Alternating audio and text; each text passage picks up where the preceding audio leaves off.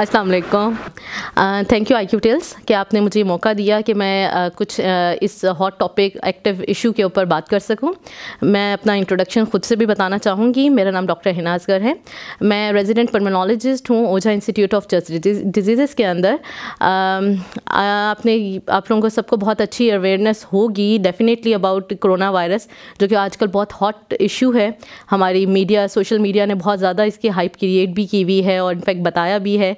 कि हमें इसके लिए क्या प्रिकॉशंस करनी चाहिए, किस तरह अपने फैमिली मेंबर्स को और बाकी सबको प्रोटेक्ट करना है।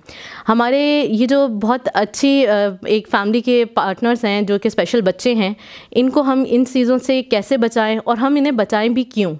क्यों इनको इन बच्चों को हमें स्पेशल केयर की नीडेड है?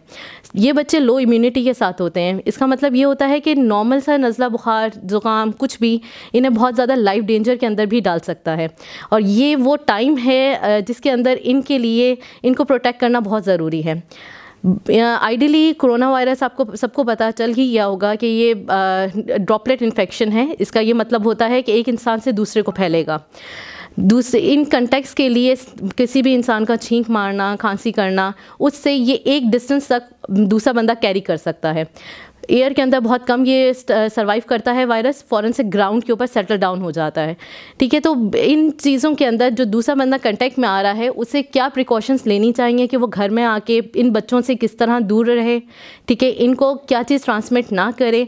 और अगर वो इन्फेक्ट हो गया तो क्या करना चाहिए? तो मैं इस बारे में ये बताना उनको चाहूँगी कि अगर फॉर एग्ज़ाम्पल ये बच्चे क्योंकि घर में ही होते हैं मोस्ट ऑफ़ द टाइम ठीक है तो इनको वो जो लोग बाहर से आ रहे हैं फॉर एग्ज़ाम्पल उनकी मदर हैं या उनके फादर हैं, जो कि इस लॉकडाउन टाइम के अंदर भी बाहर किसी ना किसी पर्पज़ की वजह से उन्हें जाना पड़ता है। तो वो आइडियली वापस आकर फ़ौरन से हैंड वॉशिंग के लिए ज़रूर काम करें। हैंड वॉश इसलिए करें, वो भी सोप से किसी भी सोप से कर सकते हैं।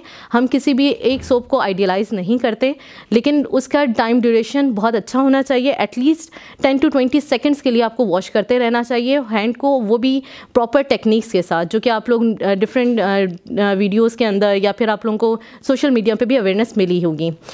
इन कामों के लिए क्यों ज़रूरी है? क्योंकि आप जिस भी बंदे से बाहर मिलकर आ रहे हैं, आप इवन से किसी करेंसी आपने एक्सचेंज की है, आप किसी शॉप से आए हैं, वो shopping bag bag each and everything के ऊपर कहीं पे भी वो वायरस अगर होता है तो वो प्लास्टिक पे इवन वो एट टू टेन आवर्स के में स्टे करता है। अगर किसी मेटल की चीज़ को आपने बाहर हाथ हाथ लगा लिया है फॉर एग्ज़ाम्पल आपने किसी लिफ्ट के बटन को हाथ लगाया है, आपने किसी स्लाइडिंग एरिया के ऊपर हाथ लगाया है स्टेयर स्लाइडिंग के ऊपर, या फिर आप एक शॉप के काउंटर के ऊपर आपने हाथ लगा लिया है तो अगर वहाँ पर वो वायरस स्टे किया हुआ था, जो कि अलाइव रहता है ट्वेल्व आवर्स के लिए वहाँ पर। तो आप उसको अपने पास कैरी करके आराम से घर लेके आ सकते हैं। इसको आपने अपने बच्चे तक नहीं पहुँचने देना इनफैक्ट ख़ुद भी इन्फेक्ट नहीं होना। तो इसके लिए सबसे ज़्यादा ज़रूरी चीज़ है कि आप फ़ौरन से हैंड वॉश करें प्रॉपरली अपने जिस तरीके से हम अपने वज़ू के अंदर काम करते हैं कि अपने हैंड्स को, फिर अपने आर्म्स तक क्लीन करते हैं। देन अगर आप बहुत ज़्यादा एक्सपोज हो गए किसी बंदे के साथ और आपने फेस मास्क नहीं यूज़ किया हुआ तो आई आई सजेस्ट कि आप उसके अंदर गागल्स वगैरह करें, अपने नोज़ को क्लीन करें, अपने थ्रोट को क्लीन करें। इन सब चीज़ों को क्लीन करना बहुत ज़रूरी है। सेकेंडली इन बच्चों को अगर खुदा न खासा आप अंदर कोई ना कोई सिम्टम्स आ रहे हैं। फॉर एग्ज़ाम्पल फ़ीवर आ रहा है कफ़ है, ठीक है? मोस्टली इसके अंदर यही हाई हाई ग्रेड फीवर और कफ़ के ही सिम्टम्स रहते हैं। तो आप इन बच्चों से आइसोलेट हो जाए। ये सबसे बेस्ट काम है जो आप इनको कर सकते हैं। बच्चों को कोशिश करें कि इनको आप हैंड फीडिंग ना करवाएँ। हाथ से खाना खिलाना बंद करें स्पून से फ़ीड करवाएँ, ठीक है? इनको आप और इनके साथ ये काम कर सकते हैं। इनको किस हक करना इनसे हैंड शेक करना थोड़ी सी थोड़े से कंटेक्ट्स को प्रिकॉशंस के साथ ले रखें। अगर आप सिम्टोमेटिक हैं, अगर आपको इन सिम्टम्स के साथ ये सिम्टम्स आ रहे हैं तो। वरना तो एज़ यूजल बाहर जाना ही, घर में स्टे करेंगे तो ही आपके लिए सबसे ज़्यादा बेहतरीन काम है। सेकेंडली अगर आपके भी, आपके किसी भी स्पेशल बच्चे में क्योंकि ये टाइम ऐसा है कि इसके अंदर आप किसी भी छोटे भी प्रॉब्लम के लिए हॉस्पिटल नहीं जा सकते या किसी क्लिनिक पे विज़िट नहीं कर सकते, क्योंकि वहाँ पे आपको नहीं पता कि किस कदर के, किस तरीके के पेशेंट्स आ रहे हैं जो कि corona mixed with other diseases हैं। तो आइडियली अगर आपको, आपके बच्चे में कोई प्रॉब्लम आ रही है, कुछ हो रहा है तो आप हमारे इस लिंक के ऊपर ही हमें कमेंट करके हमसे सजेशन भी ले सकते हैं। हम ऑल द टाइम ट्वेंटी आपके लिए अवेलेबल हैं। हम इस आई टेल्स के थ्रू ही आपको अवेयरनेस दे सकते हैं।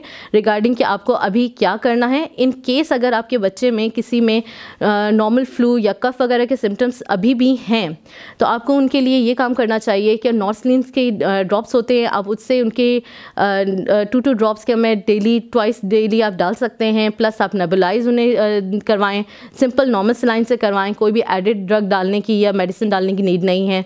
दिन में दो दफ़ा करवाएँ, लेकिन उस टाइम करवाइएगा जब सिम्टम्स हैं। इसके अलावा कोई भी प्रिकॉशंस लेने की कोई ज़रूरत नहीं है। सिर्फ़ आप कंटेक्स को अवॉइड करें।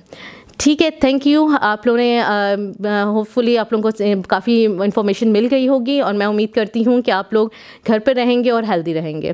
थैंक यू लाइक कीजिए सब्सक्राइब कीजिए। अगली वीडियो तक आई क्यू को इजाज़त। अल्लाह